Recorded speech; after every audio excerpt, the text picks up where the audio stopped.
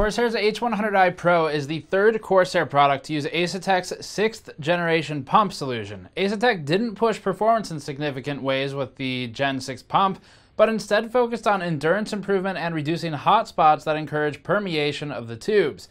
This time, just to keep things sort of interesting, we'll talk about how pump speed impacts the performance of this particular cooler and how the stock thermal paste application can also impact performance, a topic we've explored with previous Gen 5 coolers from other vendors. Before that, this video is brought to you by Thermaltake's View 37 case. The View 37 focuses on highlighting custom PC builds with its full panoramic window and tinted front acrylic in our thermal testing, the View 37 performed reasonably well when considering its looks-focused build, which is partly thanks to the airflow design and the removal of a bottom power supply shroud. For a balance of looks and performance, check the link in the description below for the View 37. So quick overview of how all this works. Gen 5 and Gen 6 pumps are from Asetek, a supplier that makes the pumps and radiator solution for basically all of the closed loop liquid coolers on the market. Not 100% of them, but pretty darn close and their main competitors are people like Dynatron, who don't do a whole lot these days, used to do the Antec cooler coolers. The other competitors would be Enermax or uh, Apaltek or people like that. There aren't a whole lot of them. CoolIT or Cool IT, if you prefer, makes some of Corsair's other coolers as well. So most of the market, probably two thirds or greater at this point, would be Ace Asetek made. That's the supplier. Corsair had a significant hand in designing the Gen 6 pump by Asetek, though. Corsair was the first client to use the Gen 6 pump, and so it has a couple of their changes on it. One of them is more RGB, an integrated RGB PCB to handle all the LEDs, something that NZXT had sort of pioneered with their Kraken series and later was brought over to other coolers like EVGAs and so forth. Another thing that Corsair worked on with their specific version of the Gen 6 coolers is a, a smaller cold plate by a little bit. It's not a whole lot smaller. They have a smaller pump housing and pump plate overall, so everything's just a little bit smaller. And they're also responsible for making the fans, which is something that basically all the manufacturers have to do to have any kind of difference between one cooler or another. So those are the primary differences with Gen 6. Gen 6 really was just driving to improve the endurance. So Asetek had a couple of known hotspots in the Gen 5 coolers where with higher liquid temperatures, 60C plus, you start having plastic deformation or plastic melting or other issues with just permeation of the tubes, where the liquid seeps into the tubes and it never comes out again, so you'd have to refill it really to keep it peak operation. And that's an issue of the liquid not moving through the different ins and outs of the cooling solution in a way that would keep the temperature sort of uniform around the tubes, the plastic, and keep the liquid at the temperature that it should be, which is under 60 degrees Celsius. So that's mostly been improved. Unfortunately, this means that the performance has not really changed. To be fair, it's hard to make performance any better with a liquid cooler when you're working with this form factor. But uh, you're not, there's no reason to expect significant uplift in performance versus, say, an H100i V2, which is the predecessor to this one, and the H100i V1 before that. Before getting into some of the thermals and stuff like that, another quick explanation of what's going on with those names. So the H100i, the V2 version, was basically the offspring of an IP issue, intellectual property issue with the radiator specifically, as far as we understand it. So uh, H100i V1 had a slightly different radiator than H100i V2. That's the difference. And then H100i Pro, the one we're looking at today, is the Gen 6 pump. And that's all that's different there. So if you have an H100i already and it's working fine, there's no reason to even consider this. But if you don't have a liquid cooler, then that's where our testing comes in and it might be worth your consideration. The H100i Pro is 120 bucks. So it's continuing the trend of more expensive coolers in the Gen 6 department. Its most closest competition would be something like the H115, the H115i. It's a Corsair product. So of course, there's 280 CLC from Gen 5 Asetek pumps is about $5 more than this one, which is a 240 CLC. It's got two 120 fans.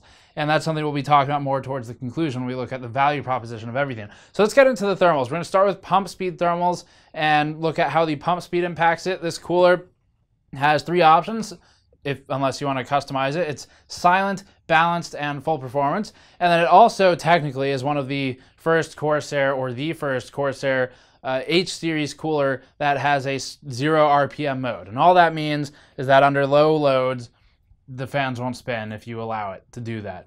So that's it's not that special. It means that it'll be quieter when idle, basically. And then when the liquid temperatures tick to a certain point, or the CPU temperature ticks to a certain point, it'll kick the fans on.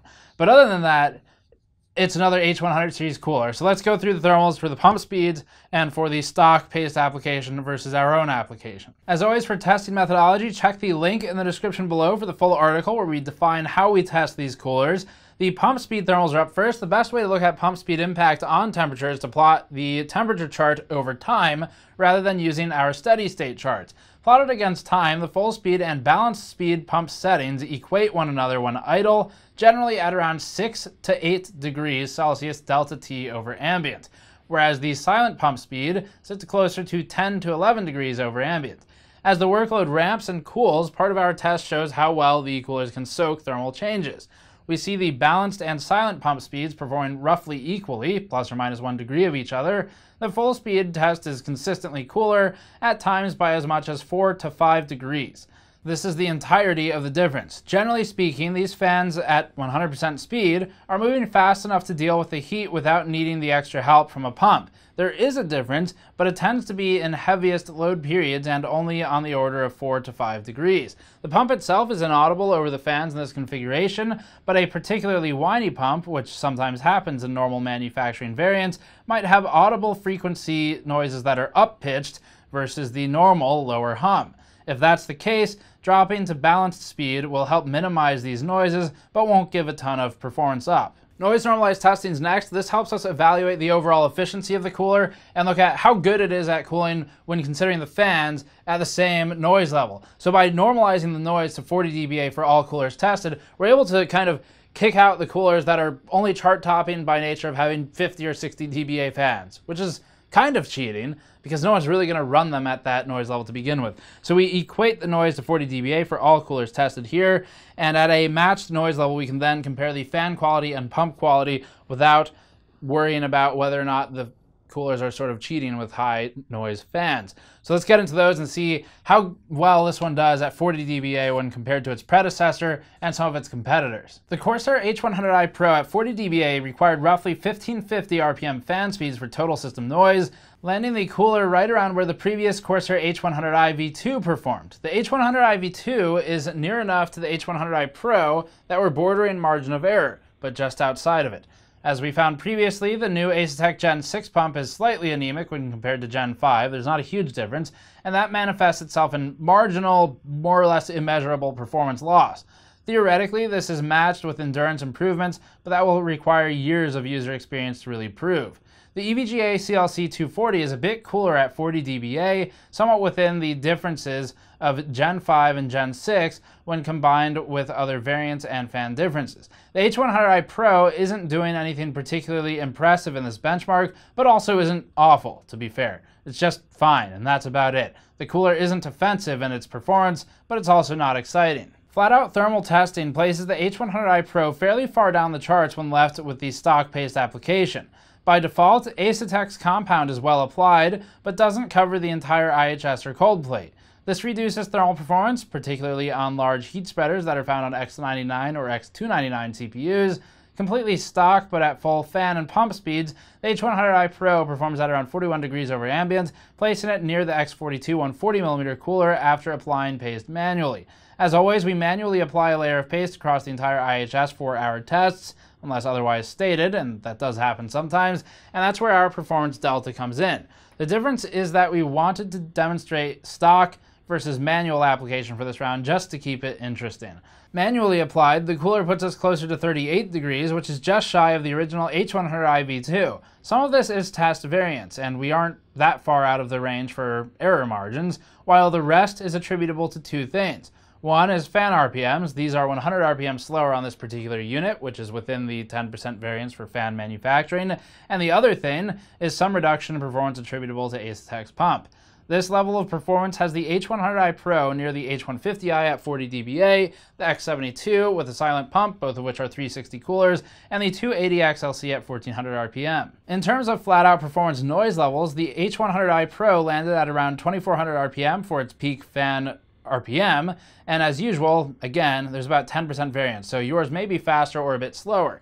These speeds had it slightly slower than the H100i V2 we tested, resulting in a proportional reduction in noise levels. The H100i V2 operated at 54 dBA output at max fan RPMs, with the H100i Pro at about 51 dBA. This has it comparable to the Kraken X72 at full speeds, which is a three fan cooler, and similar to some maxed out 280 coolers. As usual, you may adjust the fan speeds down to fit better performance or noise levels that your build targets, just depends on what you're looking for. So at 120 bucks, this thing's a pretty tough sell, to be completely honest. Corsair's own H100i V2 is $105. And the EVGA CLC 280, which is a pretty good performer, but not really a looker, is $110. The H115i is $125, and that's another Corsair product, and one that we've actually pretty highly recommended. So at $5 more, really, you might as well get the H115i. Not the 115i Pro, that costs proportionately more than this one, but the old school 115i if you can find it. If you're really looking for the things that this includes, which is the ability to spin down to zero RPM and I guess more LEDs, then it's a $5 difference. The fans are smaller, the noise is higher. So if those things are okay with you, I guess it's worth it for that specific set of features. But for the most part, $120 is just simply too much for a 240 millimeter cooler when considering how many options there are on the market. Just looking at other Asetek coolers, not even considering people like Enermax or Silverstone or people who use Apaltek or Dynatron or any of the other vendors, CoolIT. Just looking at Asetek, you've got the older Kraken models that are still somewhat affordable if you can find them. A better choice would be something like Corsair's older models, the H100i V2, which is 105 bucks, uh, EVGA's models, the CLC 280, which EVGA is selling for dirt cheap because they're trying to establish a foothold in the market, even though it's the same overall quality of cooler. And then again, the 115i at 125 bucks. So the cooler, the, the H100i Pro here, it's fine. There's nothing really wrong with it, but it's not improved enough over the H100i V2 to really drive purchases unless you're looking for those few new features, which is LEDs and the ability to spin down to zero RPM when not under any reasonable load. And that you could do through other means if you really wanted to anyway. So those are the options that uh, that you've got, I guess. Not the most impressive cooler on the market, but hopefully some of the other testing has given you some a good look at performance for pump speeds and performance for thermal paste application. The only thing here that really deserves one more note is although it's not a great value, the $120 is too much for the performance.